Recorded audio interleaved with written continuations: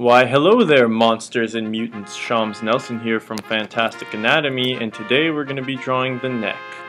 I'm going to be sharing you helpful tips that I learned when I was drawing the neck and as usual I'll draw it from front, back, and side view but unlike usual I'm going to start from side view because I think that is the most telling of the neck. So I'll go ahead and draw two, or I'll just go ahead and draw this. I like this style of uh, starting off ahead so just to give you an idea so that's kind of the head and then the neck swoops back. That'll be the first helpful tip.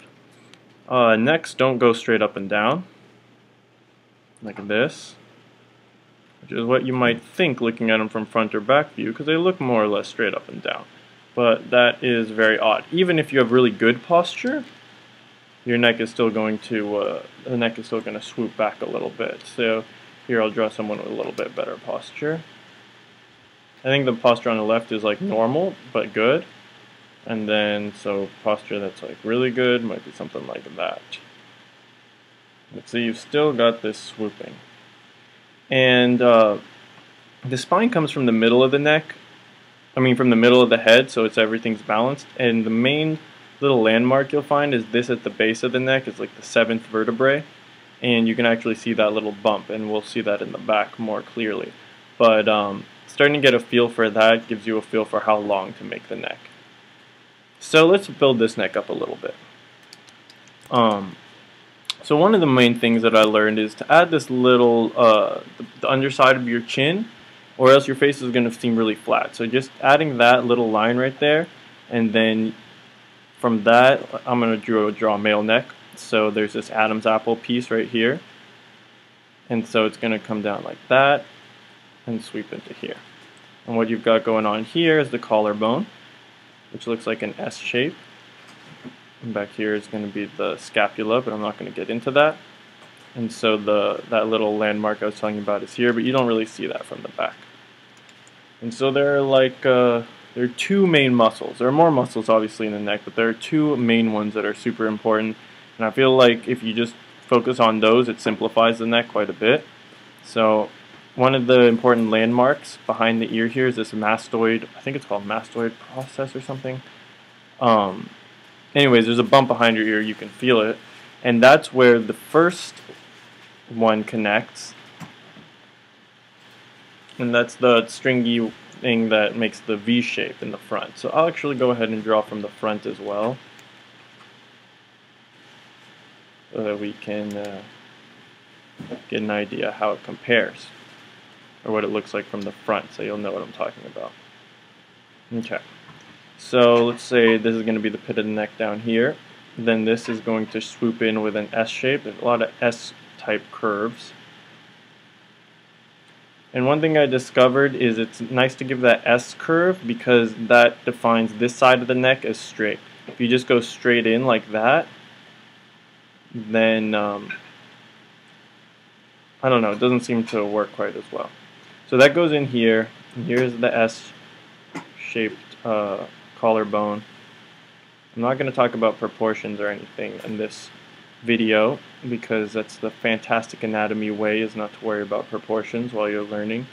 And I think that's like, it seems to be coming naturally, and that's what I was hoping for. So the more I draw necks, the more I'm like, okay, well that looks a little too long, that looks a little too short, and I'm getting better at getting close to what it, it actually should be. And then see we've got that little Adam's apple thing going here. And if you're it's a female, it'll be thinner a little bit and no Adam's apple obviously. Um, and so here's the pit of the neck. And then off of this guy, I think it's called the sternocleidomascular, I don't know, anyways. It kind of, it breaks off a little bit here. And it's attached to this muscle, but it kind of breaks off like that. And that'll give you this distinctive triangle shape right here from the front view. And that's a nice little landmark to include or look for in people. And so on this side, it kind of just comes down like that. It's less noticeable. The second uh, major muscle is the trapezius. And the trapezius is going to come around like this and attach to basically, oh sorry, this is how it should go. Okay. I think the easiest way to, to draw the collarbone is this three step. So one step here, two step up, three step across. And this will attach in the first step. The second step you leave kind of blank, and then the third step is where the uh, trapezius will attach to, which swoops in from the back. So it's kind of got this form. You can see here the trapezius. You'll see the trapezius from behind the form much more clearly. So I've got it like that. And uh, yeah. Okay. So I'm just darkening up the lines at the most important lines.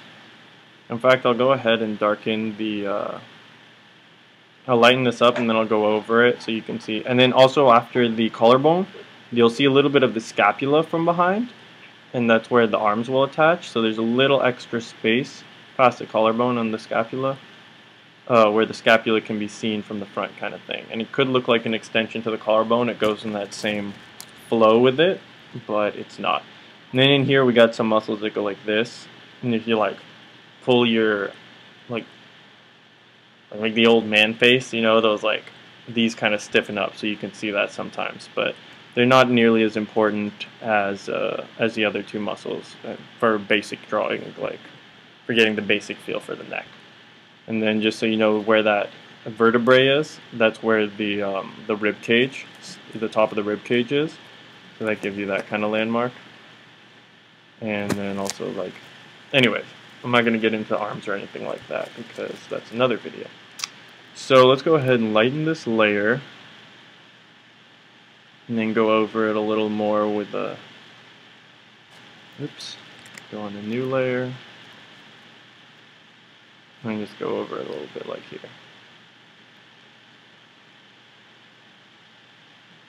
right. Uh, so I made this a little too long that should be shorter I think Oh, and another thing that's really cool is this digastric plane. So let's say this is coming in here. Digastric plane will, uh, a good connector is to go from here to here. And then when you get around here, just cut up to the ear. And that's going to give you this plane right there. Alright, so let's go back up to this one. We'll go ahead Adam's apple. This is in front. And there's a little bump there from where the collarbone comes off. And then you might see this side a little bit. Just really connect down there. So that gives you a good idea, I think. It's going to connect all the way up to the mastoid process of what the neck would look like from side view and how to draw the major forms for that. Alright, and also I didn't mention that the neck kind of like has this upside down U shape here, so it's almost like that, and this is going to give you, that's where the uh, trapezius connects. Okay, cool. So, and then here, let's do the front one real quick in the same manner. So it's going to come down like that, and then just shift. This was in front, so let's give that a little overlap here. You got a little bump where, um, where you see the scapula, I think it is, or maybe it's the end of the, the collarbone. I think it's the scapula because that sticks out more. And it's going to come here, a little bump, goes down into the arms, a little there. Here where the uh, pit of the neck is. Pit of the neck is formed from three things. So there's the go ahead and do it on the bottom one. There's a collarbone that's going like this. It's rounded a little bit there. And then there's this other little bone that comes in right there. And so that inside area is that pit of the neck is where it's connecting to the two collarbones, but then the, the bottom is created by that little, uh, I don't know, kind of squarish shape that, that, and then you can indicate this somehow with just two lines because there's two two main bumps going on there. And you might see here, I think. And let's go ahead and emphasize this triangle.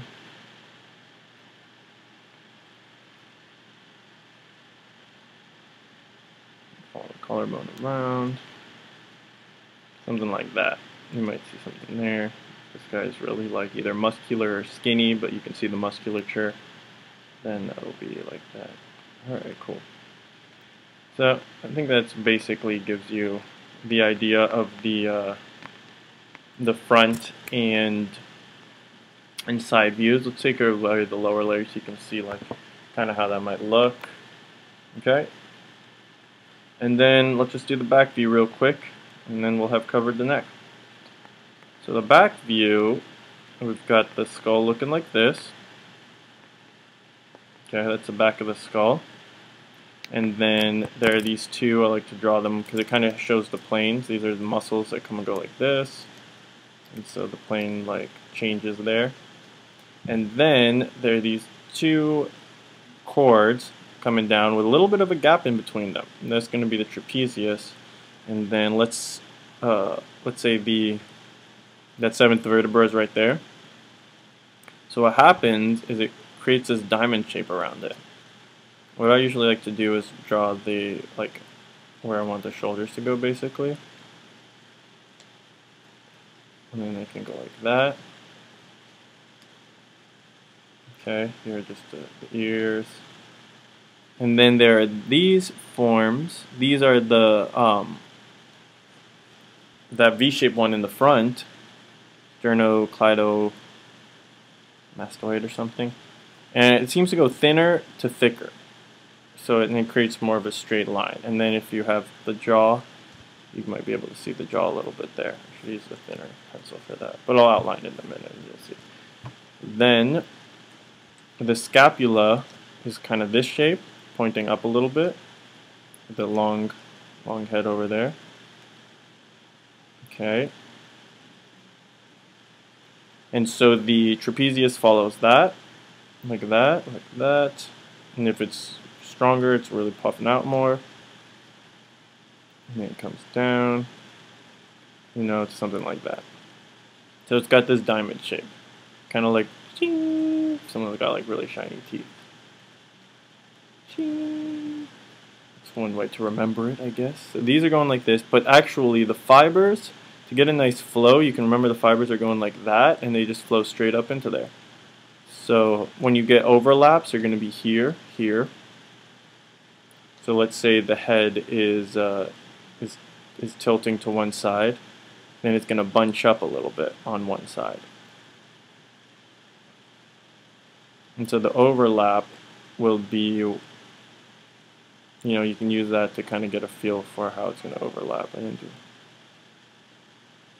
Anyways, I don't think I illustrated that very well, but uh, if you look at some images, you can see what I mean.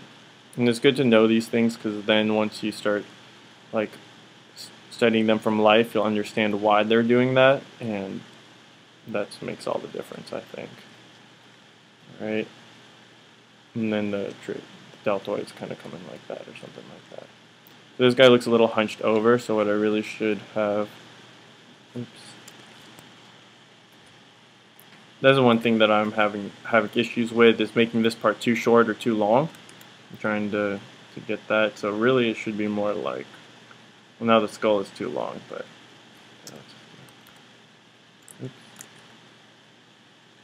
Whatever. You get my point. Let's make this lighter and then I'll go over it. I did the last one. Okay. Brush out, turn off the opacity so make the head, the skull in more normal size. Now we get the ears sticking out here. Okay. This is going to be, oh yeah, I'm not going to draw the musculature, I'm just going to draw it how you would draw it without the muscles.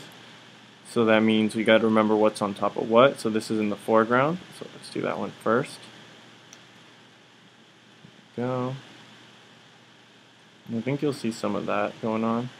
You might see a little bit of the gapping here. Like that. Because that's like really flat. There's no muscle. And then you'll see this spine sticking out there a little. Seventh vertebra vertebra, vertebrae, I don't know. And uh, so then here, you've got the mastoid process, okay. This is going to be the neck coming down like that, like that, and then maybe you see some of the jaw in front too. And the ear is going to be uh, behind the jaw from this perspective. Because from this side, see from side view, you see that it's behind the jaw.